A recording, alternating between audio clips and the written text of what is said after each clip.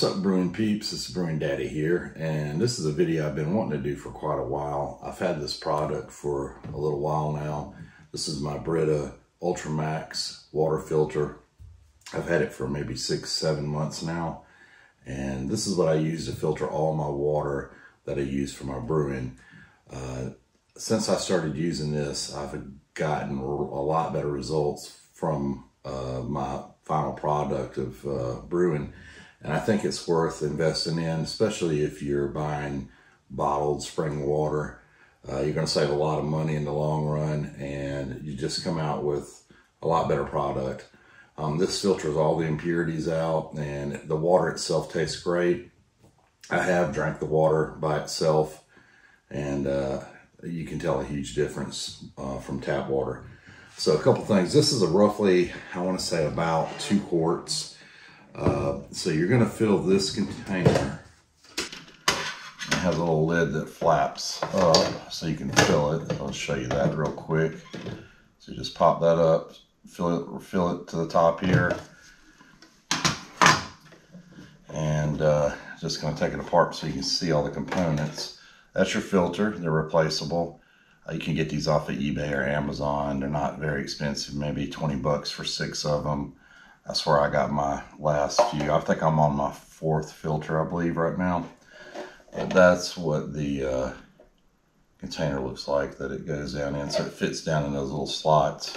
Line it up just like that. So when you pour the water in here, it filters to the filter and it comes out the bottom here. You don't want to fill this up any more than one of these to the top because your filter will be just submerged and sitting in the water. So it works best with just one of these containers and it's roughly about two quarts. And of course you got a spout, which is a really nice spout. It works great. So how I use this, I used to buy gallon spring water for brewing. And when I decided to purchase this, I paid about $45. I got this from, I believe I got it from Lowe's because I was having a hard time finding it at other places. But you can get this on Amazon. I think it was a little bit more on Amazon. I don't know why. But Lowe's and Home Depot, Walmart probably has them, but you'll have to order them and have it shipped. I went and picked this one up at Lowe's. It was in stock. But uh, the way I use it, I'll elevate it up about yay high, about taller than a milk jug or a water jug. And I'll fill it. And as it's filtering, I'll open the spout and I'll have it going directly into my water jug. And I'll keep doing that until I fill, you know, however many jugs I need. I, I try to keep about five of them on hand in case I decide I'm gonna do a five gallon batch. But this thing works great. I have used it. Gosh, I've probably filtered I don't know how many gallons of water, probably 40 or 50 gallons minimum. But I can tell a huge difference. As soon as I started using this, my beers, they taste so much better. Uh, they seem to ferment better.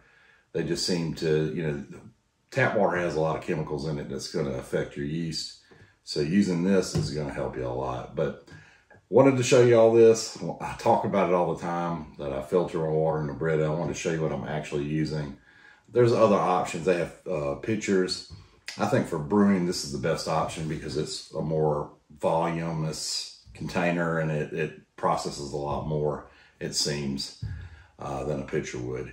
But anyways, I'm gonna put a link. I'll, I'll, try to find some suppliers. I know Lowe's has them. I'll put a link to Lowe's product listing on their website and Amazon. If I can find some links there, I'll link it in the description. But don't forget to check out brewingdaddy.com. Check out our sponsor, More Beer. We'll have a link in our description for that.